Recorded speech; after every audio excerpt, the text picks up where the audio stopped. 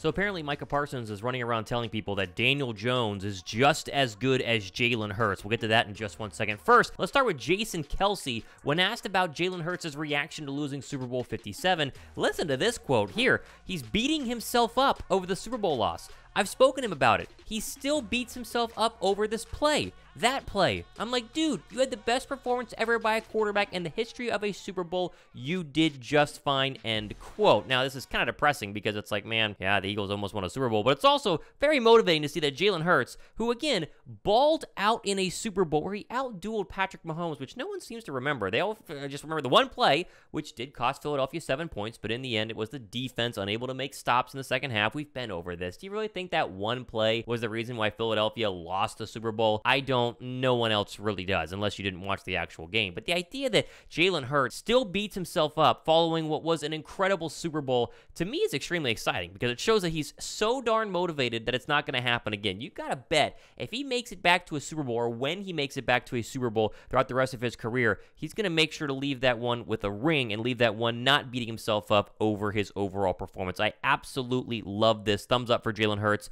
and the fact that he is He's he's pretty upset that one got away. I don't think another one is going to get away at all. Over here, so I played a little bit of this podcast that involved Nick Wright, and I forget the name of the podcast. I'll throw it up on the uh, screen. But they, you know, talked about how Nick Wright doesn't like Jalen Hurts and think that he's a really good quarterback. However, this little bit was missed, and Philadelphia Eagles Central, their Twitter account had the uh, you know the clip of it here. Listen to what one of the hosts said happened over the Super Bowl when Micah Parsons apparently was comparing Jalen Hurts and Daniel Jones. Take a listen to this.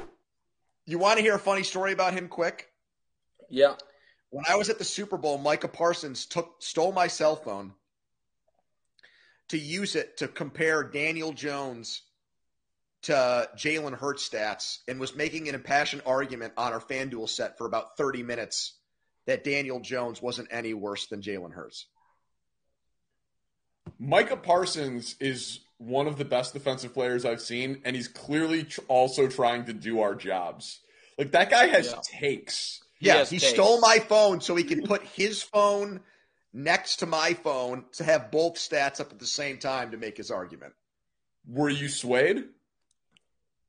I mean, you just said it. He's one of the best defensive players in the league, and he sees both guys twice a year, and he doesn't think there's a big difference or any any difference between the two guys. Boy, you listen to that and you go, what is he talking about? Where is he getting this idea that he's that much better or at least equal? Now, technically, if you look at the numbers, you can find some comparisons. This is what Micah Parsons was essentially doing, right? Oh, well, Daniel Jones has more completions, more attempts, a slightly better completion percentage, but then he has less yards, less yards per attempt, way less touchdowns, one less interception. So you start kind of, okay, there's some comparisons here. And then when you look at the rushing yards, you see that the comparisons in terms of rushing yards is pretty similar as well. Six or 760 versus 708, nine touchdowns versus four, sorry, 13 touchdowns versus seven touchdowns. Like they each have multiple rushing touchdowns in a season. The problem that Micah Parsons has is that he's not, you know, looking at the entire situation. Stats are one part of being a quarterback, but pre-snap is one part of being a quarterback, clutchness is one part of being a quarterback, and being able to win football games and deliver when your team needs it is another part of being a quarterback. No one in the NFL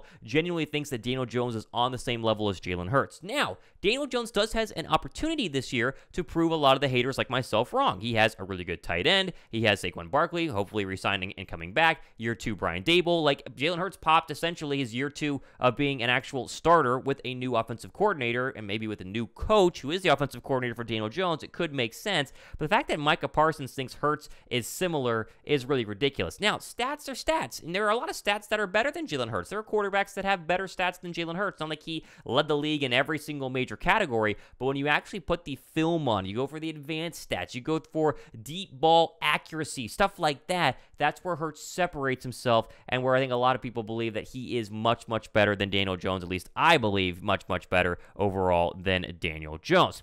Over here to Colin Cowherd. Now, I'll admit, I'm a Colin Cowherd fan. I, I watch Colin Cowherd's do- show during lunch break. Like I, I, I think he has some pretty good takes. Now, like every other sports person, including myself, we're not 100% right, and you can see sometimes, especially during the months of June and July, where hosts like Colin Cowherd try to bloviate a little bit and exaggerate things for football teams, and he did that yesterday with the Philadelphia Eagles. He basically says that the Eagles are not young enough to get back to the Super Bowl and will be taking a step back due to injury. Take a little listen to this. Runs more per game than any quarterback since Lamar Jackson got hurt.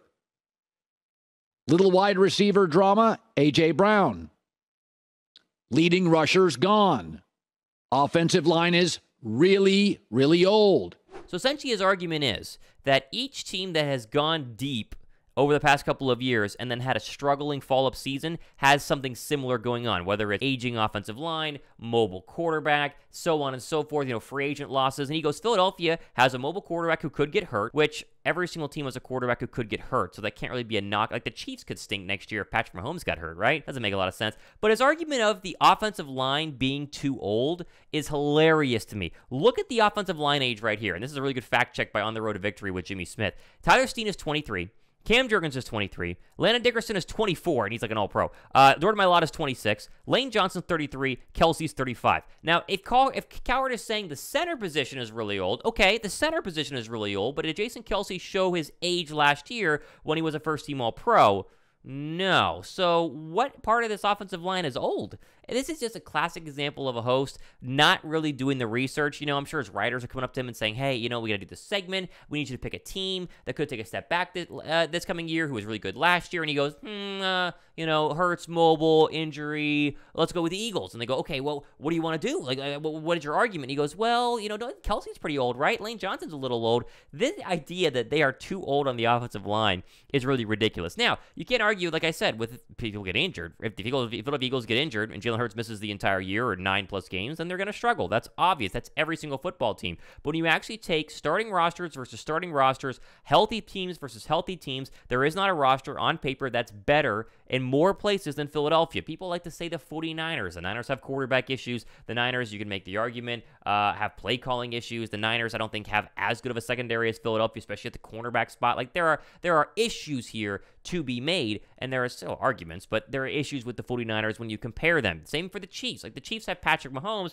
Mahomes covers a multitude of sins. They're not very good running the football. Maybe Pacheco gets better this year. He was good late, not great early. And defensively, they have pieces, but they're not scaring you with their all pro corners and all pro safeties, right? Philadelphia, at least from a cornerback perspective, has two of the best in the National Football League. So I think you can put their roster up with anybody. But as we continue to emphasize, if the Eagles have some sort of major injury or major issues, then you could make the case where it's like, okay, well, that actually could be an issue, and then the Eagles might not be in a really good spot. All right, plenty more stuff happening on the next couple of days and weeks. Working on some really fun shorts. If you've not seen my shorts, I'll throw some up on the screen right now. Be sure to go ahead and check those out. I also have an Instagram account. I'd love for you guys to go ahead and follow, and a Facebook account as well, both being shown on your screen. If you guys have not followed those yet, go ahead and give them a like and give them a follow. I would greatly appreciate that. Trying to expand a little bit here and make sure that all the platforms are covered because there's so many different ways you guys consume media, and so might as well uh, have stuff on every single one of them in case you like others more than some of the other ones. So totally fine there. But appreciate if you guys go down and subscribe. Wednesday link live tomorrow night, 7 p.m. Eastern Time, every single Wednesday. Myself and Josh Davis. Philly Special Show, plenty of topics, conversations. Get your entry into our tickets giveaway. Really, really fun time. Be sure to not be late, 7 p.m. Eastern Time tomorrow. I'm Thomas Mott. On a Tuesday, this has been The Thomas Mott Show.